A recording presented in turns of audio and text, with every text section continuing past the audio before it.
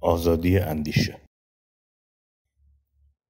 ابتدا اندیشیدن را از چهار ساحت گوناگونش بررسی کنیم. اندیشیدن به مثابه نیاز. انسان برای بقا بهتر زیستن فرگشت یا تکامل به اندیشیدن نیاز دارد. دو اندیشیدن به مثابه حق. انسان حق دارد بیاندیشد. زیرا حق دارد زندگی کند و برای زندگی باید بیاندیشد سه. اندیشیدن توان و قابلیت بشر. توانی که موجب ایجاد دگرگونی های ساختاری و بهبود زندگی بشر و حتی دیگر هستندگان در جهان می شود و چهار و فراتر از همه اندیشیدن تکلیف بشر است و شاید مهمترین تکلیف بشر اندیشیدن باشد. چنان که می‌بینیم هنوز مهمترین پرسش فلسفی یعنی از کجا آمده ام آمدنم بهره چه بود با پاسخی قطعی به سرانجام نرسیده و شاید بشر تا همیشه درگیر اندیشیدن برای یافتن پاسخی بهتر به این پرسش باشد. آیا به راستی انسان آزاد است این پرسش دیربازی است که از مهمترین و چالش برانگیزترین پرسش های تاریخ تفکر به شمار می رود. پرسشی که خود پرسش های پیچیده تری را در بر دارد. اینکه انسان کیست؟ آزادی چیست؟ اما پاسخ به پرسش نخست اغلب با داشتن پیشفرض های معینی از تعریف انسان و آزادی صورت گرفته. مطابق این تعاریف مفروض انسان به مسابه حیوان ناطق موجودی است در میان سایر موجودات عالم که به واسطه داشتن قوا که به واسطه داشتن قوی نطق از آنها متمایز شده و آزادی هم به معنای خودمختاری و نفی وابستگی است. بنابراین انسان آزاد کسی است که بدون دخالت نیروهای بیرونی بتواند هر آنچه را که می‌خواهد انجام دهد. اما آنچه می‌تواند در برابر خاص انسان قرار بگیرد یا نیروهای مهارناپذیر طبیعت است یا اراده جهان شمول. پس انسان مستلزم رها شدن پس آزادی انسان مستلزم رها شدن او از جبر طبیعت یا سرنوشت هر آنچه که دست خود او نیست می باشد بدین ترتیب انسان جهان و سرنوشت سه ساحتی که هر پرسش فلسفی در چارچوب نسبی با آنها مطرح می شود اینجا کنار یکدیگر قرار می گیرند هایدگر در درس گفتاری که به اندیشه شلینگ درباره ذات آزادی می پردازد هفت تعریف مهم درباره آزادی در تاریخ فلسفه را برمی شمارد. این تعاریف عبارتند از الف آزادی به مسابه توانایی برای آغاز کردن سلسله ای از رویدادها. ب. آزادی به مسابه آزاد بودن از چیزی یعنی مقید نبودن به چیزی. این تعریف سلبی آزادی است. جیم. آزادی به مسابه آزاد بودن برای چیزی یعنی مقید بودن به چیزی. این تعریف ایجابی آزادی است. دال. آزادی به مسابه مدیریت حواس و استیلای عقل برای امیال. ه آزادی به مسابه خود. آزادی به مسابه خود تعیین بخشی بر مبنای قانون ذاتی خود. این تعریف سوری کانت از آزادی است و آزادی به مسابه توانا بودن برای خیر و شر. تعریف شلینگ از آزادی. آزادی به مسابه نامتعین بودن مطلق یا همان لا ترجیح بودن. نه آزاد بودن از چیزی و نه آزاد بودن برای چیزی. بقیده هایدگر هیچ یک از این تعاریف نادرست نیستند. اما هر کدام فقط معرف یک بود از تمامیت آزادی هند. آزادی صرفا چیزی نیست که فهم عامه یا میل و رغبت آزادی صرفا آن چیزی نیست که فهم عامه با میل و رغبت می‌گذارد تحت این عنوان دهان به دهان بگردد.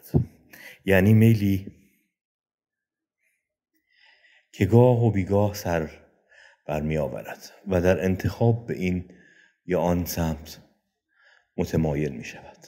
آزادی نامقید بودن در توانایی برای انجام دادن یا ندادن کاری نیست. آزادی در وهله اول حتی آماده بودن برای چیزی الزامی و ضروری و در نتیجه به نحوی موجود هم نیست. آزادی بیش از همه اینها یعنی بیش از آزادی است و پیش از همه اینها و پیش از آزادی است. بر مبنای این تغییر دیدگاه مسئله آزادی دیگر از مسائل فلسفی نیست بلکه هر پرسش فلسفی باید در نسبت با پرسش از ذات آزادی مطرح شود. به عبارت دیگر آزادی دروازه ورود به فلسفه است و تنها با پرسش از آن است که فلسفه می تواند راه خود را به سوی دیگر پرسش ها بگشاید.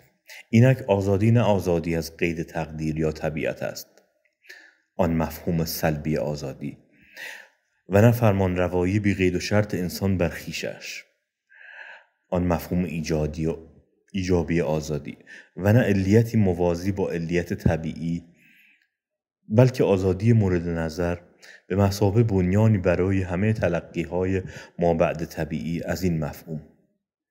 گشودگی خود هستی می باشد و رضا در ذاتش آغازین تر از انسان است. انسان صرفا یک کارگزار آزادی است. انسان می تواند چنان زیست کند که آزادی که برای او روی می دهد به طور کامل محقق شود آزادی اندیشه در عرف به آزادی هر فرد برای داشتن یک نظر و اندیشه و به طور مستقل از دیدگاه های دیگر گفته می شود و آزادی اندیشه متصل به آزادی بیان است اندیشه که نتوان آن را آزادانه بیان کرد مانند جری است که هرگز زاده نمی شود. در بند ششم منشور حقوق شهروندی با عنوان حق آزادی اندیشه و بیان چنین آمده است. ماده 25 شهروندان از حق آزادی اندیشه برخوردارند. تفتیش عقاید ممنوع است و هیچ کس را نمی‌توان به صرف داشتن عقیده مورد تعرض و مؤاخذه قرار داد. ماده 26 هر شهروندی از حق آزادی بیان برخوردار است. این حق باید در چارچوب حدود مقرر در قانون اعمال شود.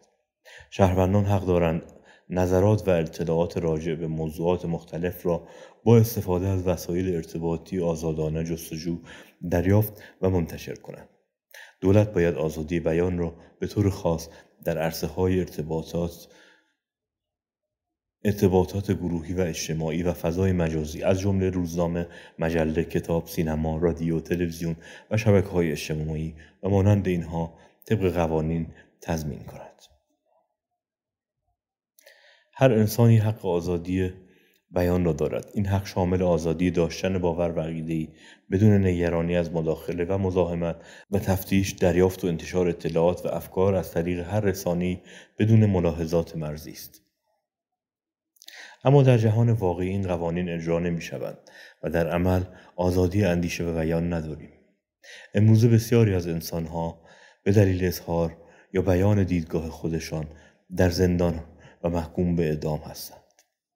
در ایران اسلامی مثل دیگر کشورهای اسلامی از ابتدای زندگی آزادی اندیشه را از ما می‌گیرند و در گوشمان شهادتین می‌خوانند مجبورمان می‌کنند هر آنچه مبلغین دین می‌گویند را باور کنیم و هر کس که دروغهایشان را باور نکند و نخواهد در لجنزار خرافات دست پا بزند مرتد نامیده می شود و محکوم به اعدام می شود ارتداد یعنی خروج از اسلام و توهین به و توهین به مقدسات یعنی روشنگری به قصد نجات دیگر انسانها از قفسهای مذهب حال به ضرورت روشنگری و تابوشکنی برای گذار از قفس مذهب می‌پردازیم چرا روشنگری و تاب شکنی ضروری است و چرا جمهوری اسلامی همواره سختترین مجازات ها را برای منتقدین مذهب اعمال می کند. برای رسیدن به این پاسخ که چرا افرادی با وجود آنکه می‌دانستند و دیده بودند مجازات نقد مذهب اعدام یا دست کم حبس طولانی مدت است اقدام به تواب و شکنی نقد مذهب و خرافه زاداری ریشه ای کردند و چرا مثل اکثریت فعالین و چرا مثل اکثریت فعالیت سیاسی را در گدایی اصلاحات از حاکمیت ندیدند نیاز داریم بدانیم دقیقا از چه حاکمیتی سخن می‌گوییم. جمهوری اسلامی برایند سرمایهداری و دیکتاتوری مذهبی است. نادیده گرفتن هر یک از این دو شاخصه به مسابه مواجهه با آن همچون فیلی در اتاقی تاریک است. اگرچه در جمهوری اسلامی انواع مختلف سرمایهداری از جمله میلیتاری کاپیتالیسم مثل قرارگاه خاتم الانبیا و سپاه و سرمایهداری خصوصی مثل جناح هاشمی رفسنجانی اتاق بازرگانی وجود دارد. اما در رأس هرم این کلریکال کاپیتالیسم سرمایهداری روحانی محور است که حکومت می کند. به عبارت دیگر انواع مختلف سرمایهداری در ایران مادامی که در خدمت بقای سرمایهداری روحانی محور باشند حق حیات خواهند یافت. این نوع خاص از سرمایهداری وابستگی شدیدی به مذهب تشیع با قرائت جمهوری اسلامی دارد. بررسی تشیع مورد نظر جمهوری اسلامی متوجه می شویم که برخلاف تصور رایش اتفاقا در بیشتر مواقع این سرمایه است که در خدمت مذهب است. چرا که اساسا هدف سرمایهداری روحانی محور این است که قدرت و ثروت در اختیار روحانیت باشد. بنابراین حفظ مذهب برای چنین حکومتی حتی از حفظ و انباشت سرمایه ضرورت بیشتری دارد. و حاضر است در بسیاری از مواقع سرمایه را قربانی مذهب کند. برای مثال علیرغم پولسازی صنعت گردشگری و پورنوگرافی اجازه رشد و گسترش آنها را به شکلی که در غرب است نمی‌دهد و تنها زمانی به پذیرفتن آنها حاضر می شود که در اشکال خاص اسلامی زیده شده باشد. به عنوان نمونه پورنوگرافی غربی را در جمهوری اسلامی به شکل سیغه می‌بینیم که طبیعتا گردش سرمایه در سیغه به سرعت و روان بودن پورنوگرافی اروپایی نیست اما از یک طرف سود حاصل از آن در انحصار روحانیت و مذهبیون باقی میماند و از طرف دیگر لذت حاصل از چنین کاری را در شکل و شمایل مناسک خاص و ویژه مذهبیش ترجمه می کند. از سوی دیگر مبالغ گذافی را صرف بازسازی بارگاه امامزاده ها و صحنه سرای مامان می کنند. بودجه هنگفت برای امر به معروف و نهی از منکر در نظر می گیرند. و میلیاردها تومن صرف سازمان تبلیغات اسلامی می شود تا به این وسیله دوام طبقه روحانیت در قدرت تضمین شود مشکل آنجای خود را می نمایاند که اکثریت مردم عادی و روشنفکران در ایران تحت حاکمیت جمهوری اسلامی میپندارند مشکل از قرائت و تلقی فاشیستی حاکمان کنونی از اسلام شیعی است که وضعیت کنونی را رقم زده و نه خود ذات چیزی به نام دین و خداپرستی یا خود اسلام. و به طور کلی هر ساختار ایمانی. جمهوری اسلامی هم به اعتبار وجود همین نگاه است که با تداوم خود در قالب دو جریان اصلاح طلب و اصولگرا در عین پلورالیستی در عین پلورالیستی نشان دادن نگاهش به دین عملا اجازه تغییر ساختارها را نداده است. روشنفکران دینی می توانند شریعتی و طالقانی و بازرگان را علنا تبلیغ کنند. فرض که با کمی سختی. و از محمد علی حسین و حسن و فاطمه ضرورت مبارزه علیه ظلم را بیرون بکشند. اما بنا نیست فضایی شکل بگیرد که خود این نامهای مقدس دیر سوال بروند. چرا؟ چون حرکت تفکر به ورای هر امر مقدسی. سرآغاز شوریدن بر بنیادهای زندگی است که به مثال زنده ماندن گوسفندی است یعنی خلاصه در چریدن و پس دادن. این است آن پیامی که متهمین به توهین به مقدسات می‌خواهند به جهان منتقل کنند. آری باید به هر شکلی از دین می‌خواهد اسلام محمد باشد. مسیحیت عیسی باشد مارکسیسم استالین یا بازار آزاد فونهایک. نه فقط نقد کرد بلکه به سخره گرفت و با آن توهین کرد. چرا که دین یعنی توهین به تفکر. دین یعنی توهین به تفکر. دیندار کسی است که ایمان می آورد و طالب ایمان است نه استدلال و نقد و شک کردن. ایجاد پرسش و تلنگر زدن و دست گذاشتن بر ریشه ها و جایگزینی استدلال ها در عوض ایمان عمده عملی است که متهمین به توهین به مقدسات انجام دادن و طبیعی است چنین حاکمیتی این گونه افراد را برای خود خطرناک بداند و سرکوبشان کند. چرا که خرافی بودن و مؤمن بودن اکثریت همانا مهمترین سرمایه روحانیت به مسابه طبقه حاکم در ایران است و به درستی که خطرناکترین اشخاص برای یک حکومت مستبد افرادی هستند که فارغ از تابوها و خرافات آزادانه بیاندیشند. و دیگران را نیز به آزاد اندیشی دعوت کنند. به امید روزی که هیچ کس به دلیل اندیشیدن مجازات و شکنجه نشود. سهیل عربی 1401